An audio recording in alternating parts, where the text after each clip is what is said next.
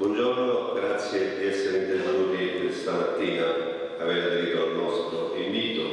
Sarà a Nola la sede della prima tappa del progetto Scuola e Sport in Tour, presentato questa mattina nel corso di una conferenza stampa tenutasi nella sala Cirillo di Palazzo Matteotti, dall'assessore provinciale allo sport Filippo Monaco, dal dirigente dell'ufficio undicesimo ambito territoriale di Napoli Luisa Franzese, dal delegato CONI di Napoli Sergio Rongelli e dai rappresentanti istituzionali dei comuni di Nola, Castellammare di Stabia, Pozzuoli e Napoli che hanno aderito al progetto.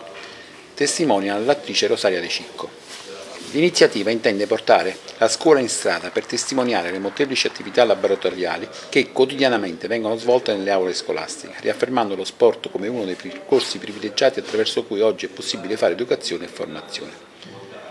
Saranno realizzati villaggi itineranti nei comuni di Nola, Castellammare, Pozzuoli e Napoli di attività motorie senza barriere architettoniche con il coinvolgimento di studenti, bambini, ragazzi, adolescenti e giovani di 50 scuole e la partecipazione di circa 3.000 studenti che si cimenteranno, coordinati da docenti, tecnici, maestri federali e da esperti del settore, in diverse discipline sportive. Abbiamo scelto la piazza, affermato l'assessore Monaco, perché rappresenta il luogo simbolo dell'attività sociale dove ci si incontra, si discute e si socializza. Assessore Monaco, un'iniziativa importante in cui la provincia mette insieme scuola e sport. Forse c'è la tentazione però di diffondere questa cultura all'indomani anche di quello che è successo a Roma. Quanto è importante che la cultura dello, dello sport si diffonda tra i ragazzi? Non a caso abbiamo scelto di portare lo sport in piazza, eh, piazza la piazza come simbolo della socializzazione e dell'unione, la piazza per diffondere il messaggio di una giusta e corretta attività sportiva anche dal punto di vista del più alto senso nobile civico dell'attività stessa, di essere insieme, socializzare, armonizzare, sapersi comportare all'interno delle attività sportive. La piazza come simbolo luogo importante e preminente di questa grande attività. Le piazze simbolo della provincia di Napoli le, che abbiamo diviso in quattro macro aree omogenee come voi sapete da Castellammare a Pozzuoli passando per la città di Napoli e Nola. Quello che è successo ovviamente ci, ci spinge sempre di più a far sì che queste manifestazioni possano essere fatte all'aperto, non nei luoghi deputati, nei luoghi chiusi, nei, negli stadi come non a caso o nei palazzetti dello sport. Portiamo il messaggio attraverso i giovani, la loro attitudine prevalente al gesto motorio affinché anche chi vive la piazza sotto altri punti di vista, non solo dell'attività sportiva ma della socializzazione appunto come dicevo prima, possa essere un punto di partenza e di buon senso civico e un senso altamente educativo al futuro di chi si appresta anche a vivere indirettamente, non solo di attore, protagonista dell'attività del gesto sportivo.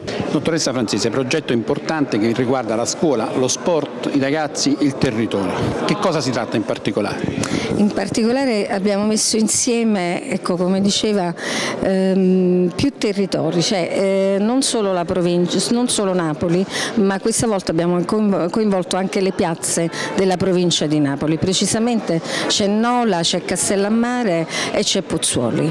Queste sono le scuole e le piazze che interesseranno eh, queste attività motorie, ehm, eh, le attività motorie che eh, i ragazzi quindi si confronteranno e metteranno in piazza quello che è stato il loro percorso di studi. Tentativo quindi di portare la cultura dello sport all'interno delle scuole e viceversa. E del territorio, e del territorio perché il territorio deve sapere quello che la scuola fa, mm, la scuola non deve stare solo dentro la classe ma è anche fuori alla classe, proprio per l'educazione e la crescita come cittadino.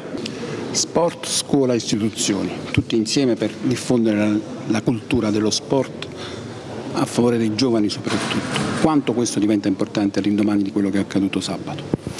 Sicuramente noi oggi lanciamo un messaggio importantissimo.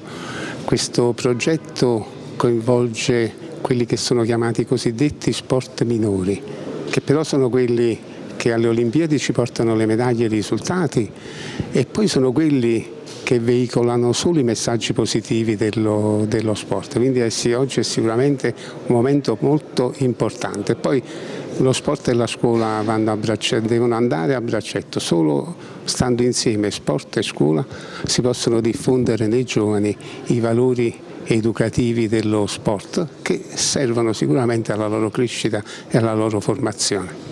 Che fa il CONI per diffondere la cultura dello sport all'interno delle scuole? Dunque, noi all'interno delle scuole operiamo con molte federazioni, non solo nei licei sportivi che si stanno diffondendo a macchia d'olio con il sostegno del CONI, perché il liceo sportivo senza il CONI e senza le federazioni non può non può, non può, esistere. Ma anche a livello nazionale le federazioni hanno capito che il loro futuro è solo il gemellaggio con la scuola. Solo se c'è unione con la scuola i giovani si avvicineranno sempre più a, a, tutti, a tutti gli sport.